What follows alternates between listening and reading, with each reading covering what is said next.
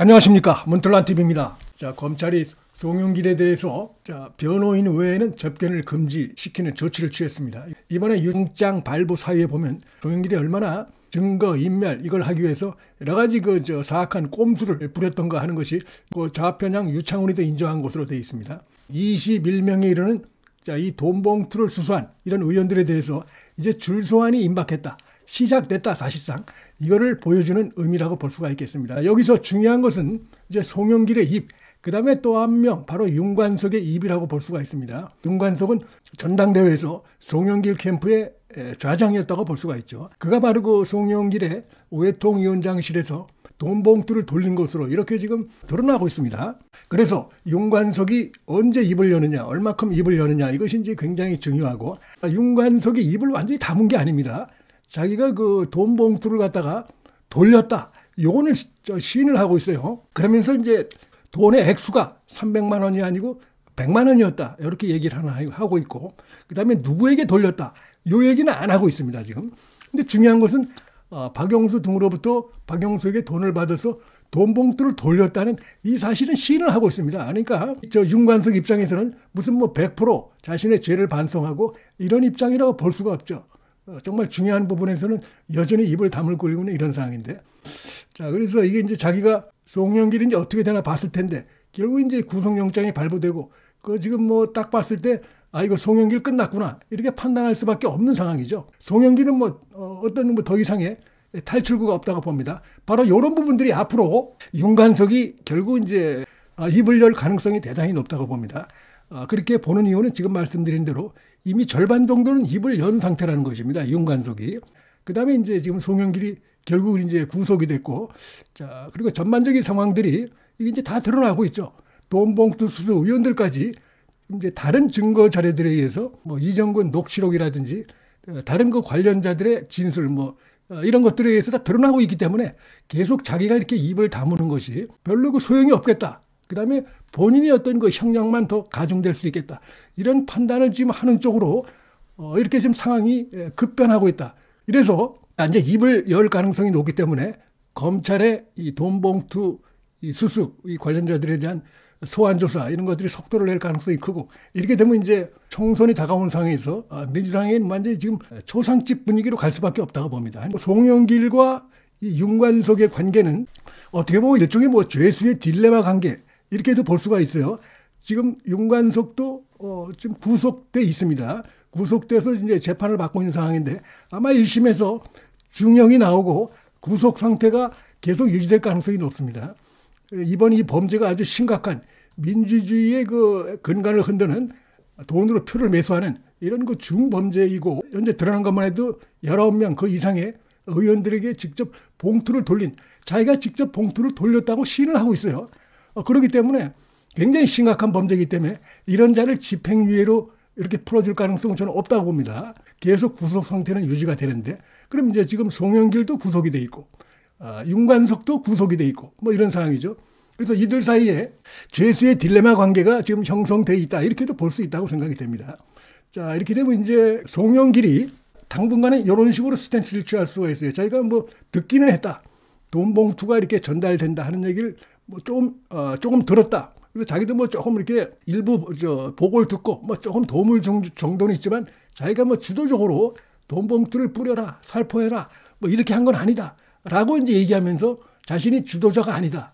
아, 아, 이, 이 사건에서 뭐 이런 식으로 이제 당분간은 거기에 대해서 윤관석이 어, 협조 안 할 가능성이 크다, 크다고 보는 것입니다. 그래서 이제 윤관석 입장으로서는 뭐 더 이상 기대할 게 없는 것이죠. 이제 송영길도 그렇고 자기는 할 만큼 했다. 이런 것이고 말씀드린 대로 돈 봉투를 자기가 돌렸다는 걸좀 시인을 하고 있는 뭐 이런 상황까지 와 있기 때문에 수사가 지금 상당히 이제 사실상 증거에서 속도를 내고 있는 이런 상황이기 때문에 지금 그 재판에서도 지금 윤관성은 어떻습니까? 송영길은 전혀 모른다. 이런 얘기는 한 바가 없어요.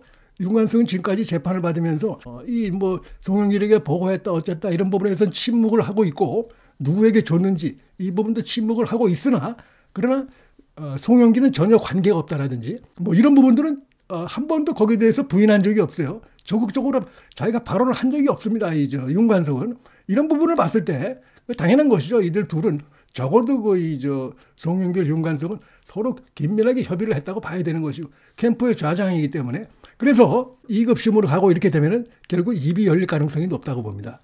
그렇지 않으면 어, 자기가 다 뒤집어 써야 돼요. 송영길이 어, 당분간 아마 그런 식으로 스탠스를 취할 텐데 구체적인 건난 모른다.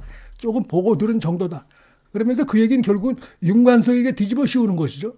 어, 송영길의 그런 스탠스는 윤관석이 다 모든 걸 어, 송영길 당선시키기 위해서 돈 봉투도 마련해라. 뭐 이렇게 하면서 전반적으로 다 이렇게 해서 적극적으로 뿌리고 어, 10여 명, 20명 가까운 의원들에게 뿌리고 뭐 이렇게 되면은 그게 만약에 사실일 가능성은 없지만 그런 그런데도 불구하고 그런 식으로 한다 그러면 아, 윤관석의 죄는 상당히 심각해지고 그냥 완전히 뭐 대법원까지 그렇게 가는 것인데 그럴 가능성은 없다고 보는 것이죠. 이게 이들 사이의 관계를 볼 때.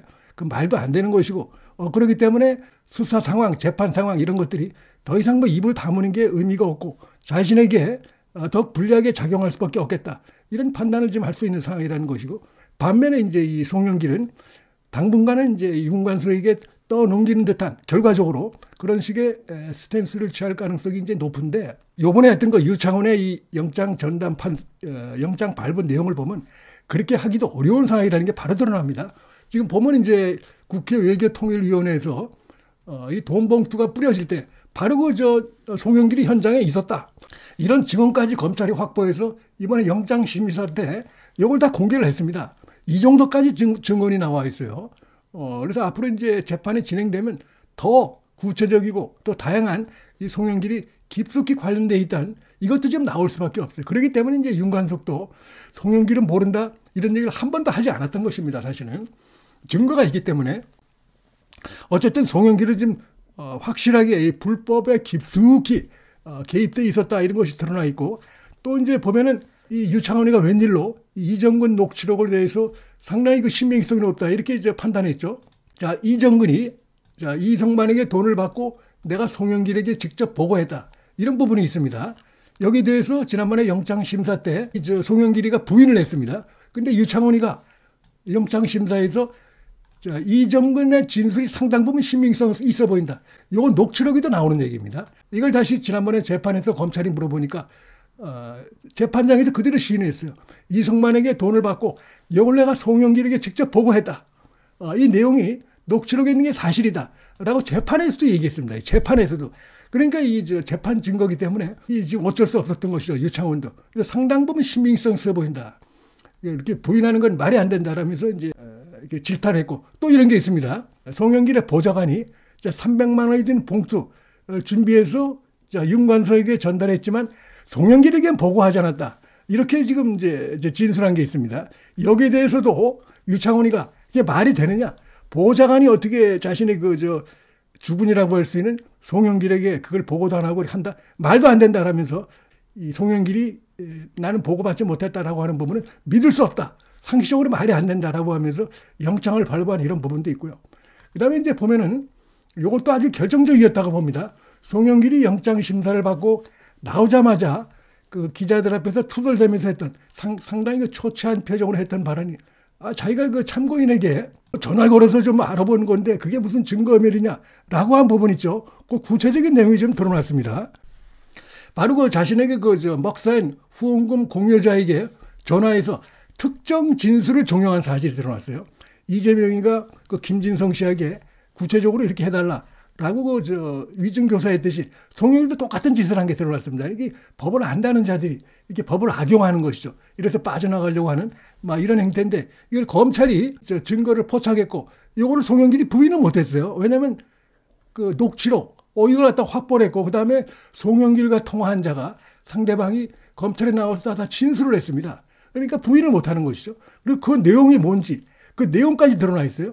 검찰 수사가 진행되자 적극적으로 위증을 종용한 이 사실까지 이 사실까지 드러났습니다. 그 사람들이 무슨 통일 외교 때문에 했습니까? 지금 실제로 보면 전부 이저 불법 로비 관련된 것이고 송영길 개인에 대해서 어, 그런 식으로 불법 정치 자금을 댄 것이죠.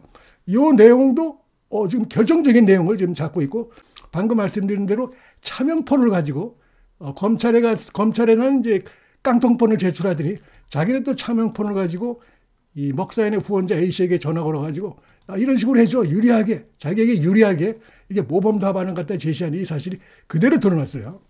뭐 이건 유창훈이 아니라 유창훈 할아버지도 봐줄 수 없었던 상황이죠. 이 송영길은 어, 이 영장 이 저 심사 단계에서 이미 다 드러났다. 이 벗어날 수가 없다. 본 재판을 가도 달리 그 어떤 뭐 자기가 용 빼는 재주가 어, 있어도 이건 안 된다. 아, 그대로 이건 어, 중형이 나올 수밖에 없는 상황이다. 이렇게 볼 수가 있는데 이 자기가 그 어떤 계파의 지도자라고 하면은 사실은 나 때문에 벌어진 일이다. 사실은 내가 다 알고 있었다. 어, 윤관 윤관석 의원하고 이렇게 해서 알고 있었다. 어, 그돈 봉투 돌리는 부분. 그다음에 돈 저 5천만 원이 자기 지인한테 왔으니까 자기가 다 그런 부분을 관여했다. 이렇게 얘기해서 어, 그렇게 모든 걸 실토를 하면은 지금 돈 봉투 20명에 대한 이들에 대해서는 죄가 조금 줄어들 수가 있겠죠. 어, 이제 그렇게 해야 되는데 이 송영길이가 과연 그렇게 할 것인가? 2심까지 가기 전까지는 그렇게 안 할 겁니다. 버티고 거짓말하고 어, 이러면서 윤관성에게 뒤집어 씌우고 어, 그래 할 가능성이 높고 어, 최근에도 이 검찰 조사 받기 전에 송영길이 보인 태도는 파렴치하게 이런 나쁜 짓을 저질러 놓고도 계속 정치를 하겠다. 무슨 신당을 하겠다. 뭐 이러면서 엉뚱하게 한동훈 장관을 비난하고 윤석열 대통령을 비난하고 아주 그이 586이라고 하는 자들의 이 기만적이고 위선적인 이런 모습이 좀 그대로 드러났어요.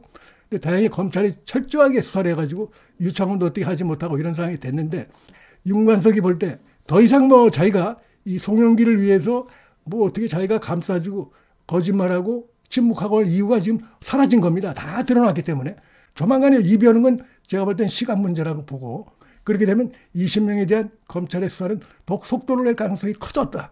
아, 이렇게 말씀을 드리겠습니다. 자, 물돌란 TV 여기서 마치겠습니다. 시청해 주셔서 감사합니다.